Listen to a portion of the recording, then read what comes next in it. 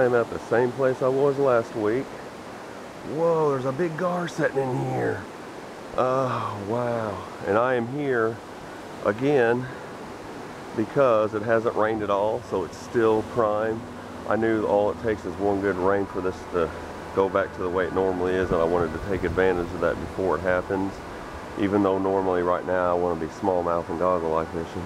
There's a big old gar right in front of me. See if I can get him to bite. He's just kind of sitting there. Right here.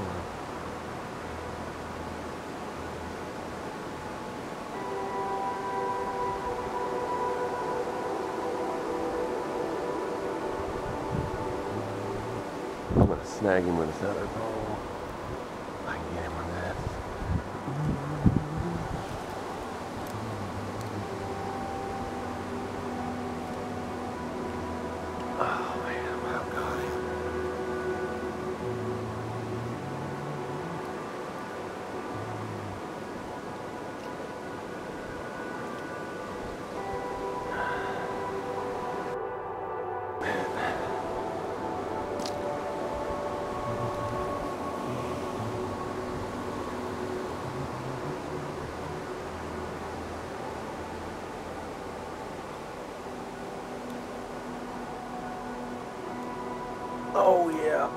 Oh, I got him. Oh man. Come here. Oh, he almost swam right into it. Damn it.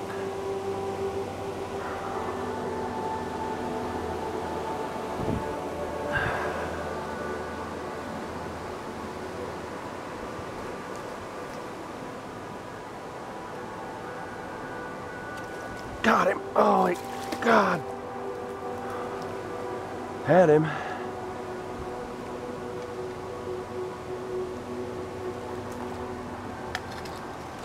Oh. Oh boy. There he is. There he is. Get in there. Oh, got it. oh yeah. I caught a gar just with a dip net here. uh, I'm gonna wait for her to show her. She's in the car. He's a decent one. I think it's a long nose.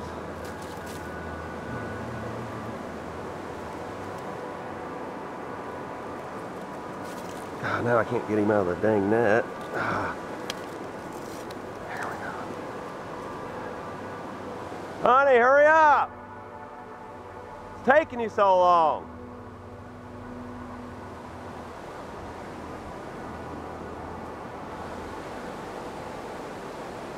I want to show you this fish. Jesus Christ, he's taking forever. Yeah, that's a big old gar. I'm going to hold him up for you guys if I can. It looks about like the same one I caught last week. Oh, yeah. Alright, he's about, he's in the mid-20s.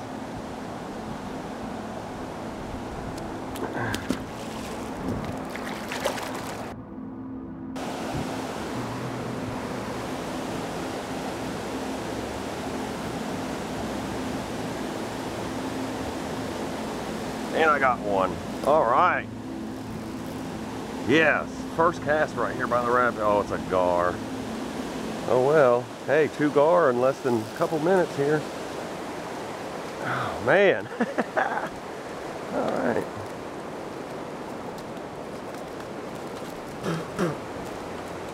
Calm down.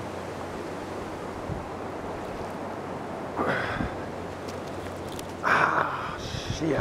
oh, I'm gonna put him back. Not the kind I'm after. A little smaller one here.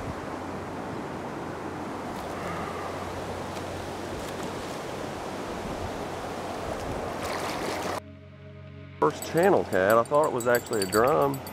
Before this, when I had the camera off, my pole went flipped over and flew out in the water and started swimming away. Luckily my pole was white and I was about five feet away. If I would have been up in the rapids, I would have lost my pole forever. it was that that quick of a reaction. I had to, I sprinted out in the water and grabbed the butt of it.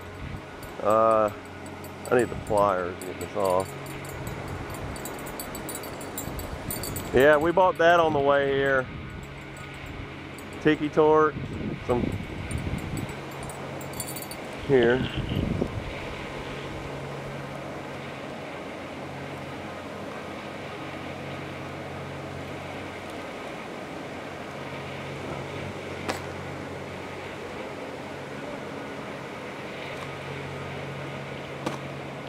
He's a little guy, a little half pounder. I'm gonna put him back. He ain't worth keeping. Not worth keeping.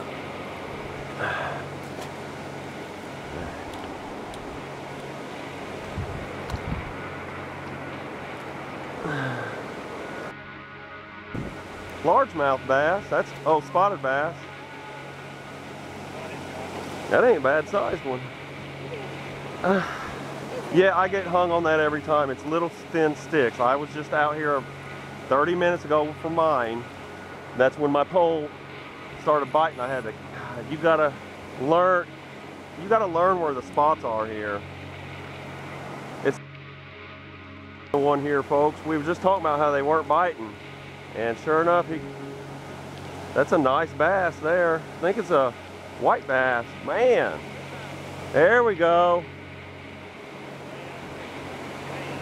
Right when we said it's weird, they're not biting up here.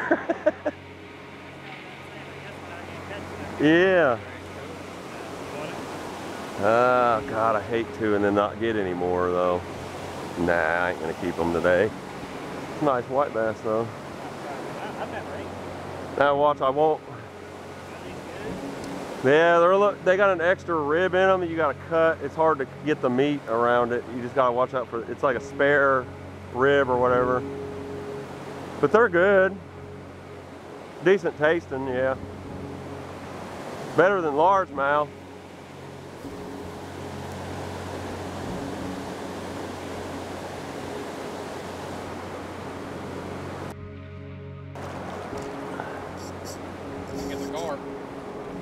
Oh, I'm already got the camera on. All right, I'll let this guy set the hook for me. He was, he's my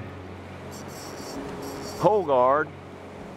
And uh, we had them all going off at the same time, so I told him he can go ahead and get this one. This is my buddy's sister's brother. Hey, that ain't bad at all. He got us a nice channel. Man, that's about, what, four pounds? Dude, good job, man. That's a nice channel, yeah. Wow. Can we keep this one? Let's keep this one. Go ahead and get the stringer out of the bucket. Wow. Barely hooked, but their skin is so tough. He was really hooked good, kind of. Okay, I need the pliers. Yeah, I'll let you hold it. No, matter to me. For a second. Yeah. Oh, I'm gonna.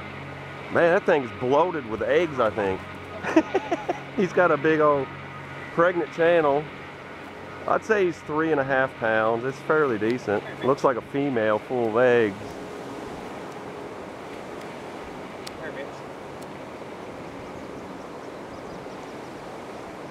All right.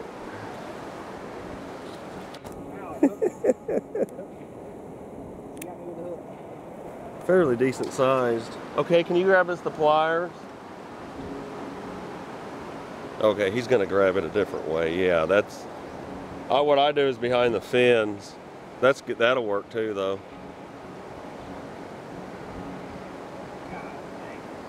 Not bad for a worm. That's good pond-sized channel. Now he's got a good hold of it.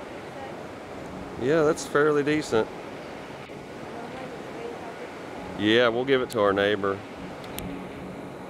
All right, I'm zoomed in on you. Oh, she'll get it. She can get it out here. Yeah, she's. It's in there.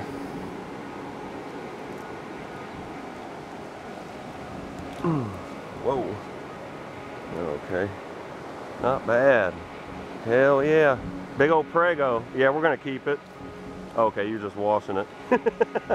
I knew he. I thought You knew we. Okay, keep these right there. Yeah, we'll keep it over on the back pond, don't you think? So it don't get in the way over here.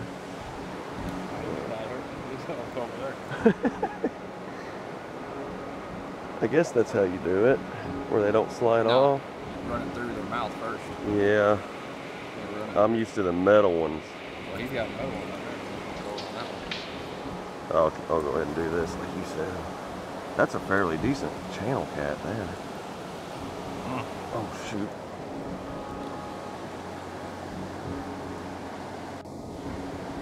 I don't see it. I got it I right here. Think I'm hitting something. There we go. Now run that back there. Man, look how big it is. The belly. Yeah, she's pretty. Definitely full of eggs. Alright folks, this is our first catfish of the day. Only one worth keeping besides his white bass. That is, look how bloated. yeah.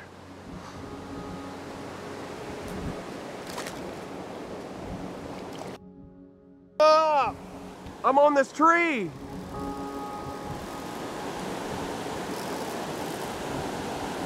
He's on there. There he is. Well. Oh.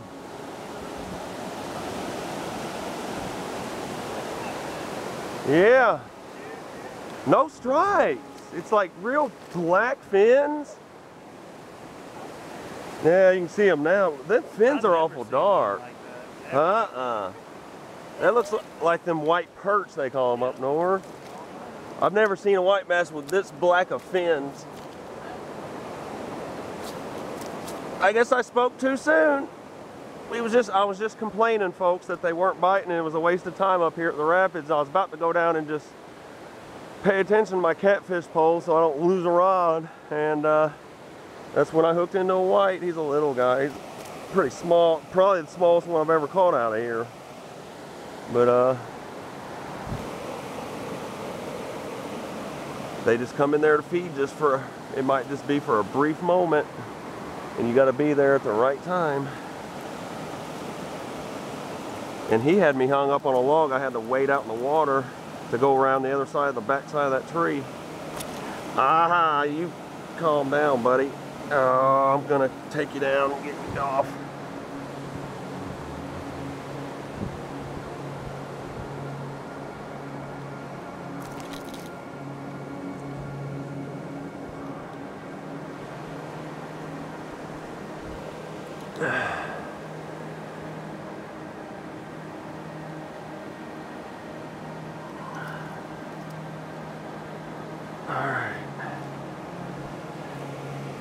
He's about 13 inches.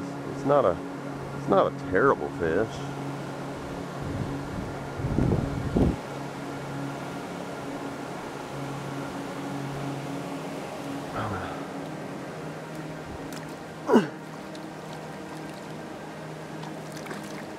Wash him off so you guys can get a better view here. All right, we got one channel cat and one white bass so far.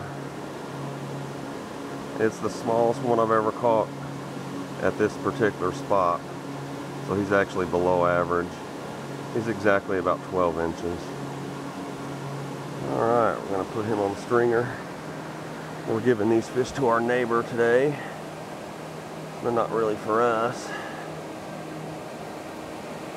I've been having all three of my catfish poles out while I fish at the rapids only about 40 feet away and I've been literally throwing different crankbaits, different soft plastics and nothing seems to be working. He caught one white bass and one spotted bass up here today and I I caught the gar and, just that white bass now and she caught absolutely nothing so it hasn't been they haven't been really at the rapids much folks we are fishing in complete darkness we got a set of people across from us down there one directly across from us and some people up there we got three poles out right now two with sunfish and one with worm we got a tiki torch behind us to help us see a couple of headlamps flashlights and a lot of bug spray and we're she's never been night fishing before, so we're just trying something different and trying to get a big flathead. So right now it just turned about nine o'clock. We're just going to sit here and, and wait it out and see if we can get one decent flathead. So far on the stringer, we got two two white bass and a three and a half, four pound channel cat. So we're not, we didn't get skunk, but we're not doing too great either. The catfish just don't seem to be biting that well. We're hoping something comes along and hits these live sunfish. I got about two or three of them left and they're getting bigger and bigger. trying to use the smaller sized ones because it's easier to hook them with. I'll turn back on when I get a bite. All right, folks, I just caught a about a four pound smallmouth buffalo while night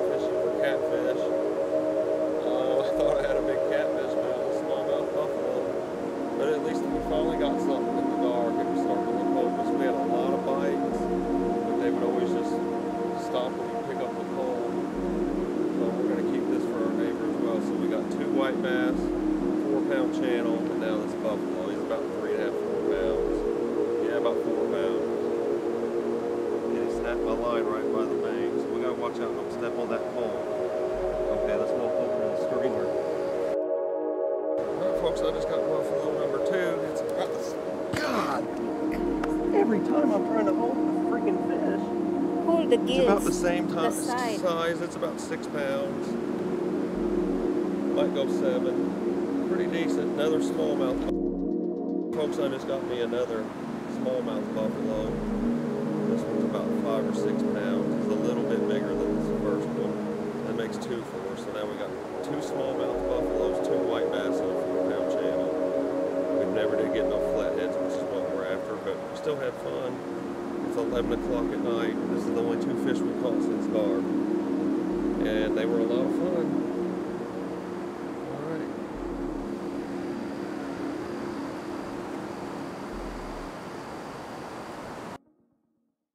Alright folks, I just got about a 9 or 10 pound buffalo this time.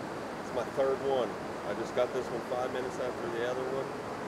This one I believe may be a black buffalo because of its mouth. It has the really poofy lips on the bottom, Put but I'm not 100% sure. put it down? Yeah, this is a black. This one's a black buffalo,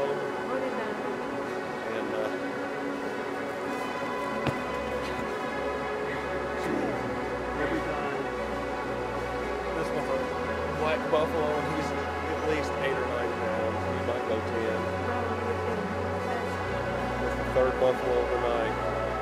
We may not caught flatheads like we wanted, but we got some nice buffalo at the end of the night. Put it down. I don't see this. No, no.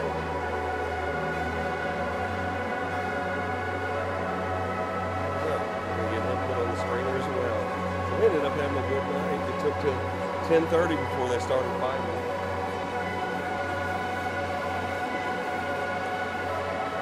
Fit the bucket. It's big.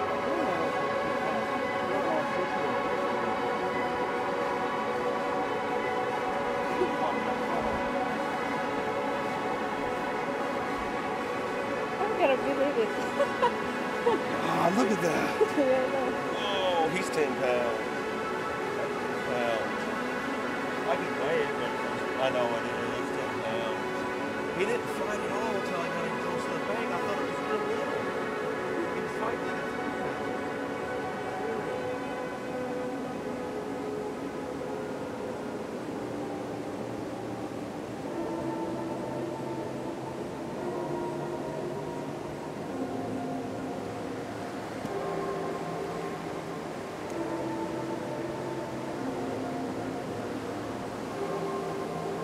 Yeah, that's a black buffalo. Probably it's 10 pounds. Yeah. It's really fat.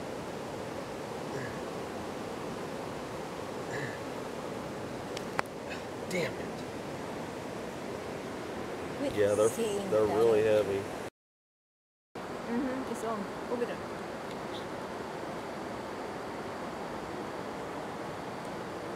Is it on? Yeah. Huh? Mm-hmm. It is? Yeah, it's on. All right, I got buffalo number four, another black buffalo, another six, seven, eight pound, uh, six, seven pounder is number four. That's all we've caught the last couple hours, but it's a lot of fun. They're all giants, or decent, I should say.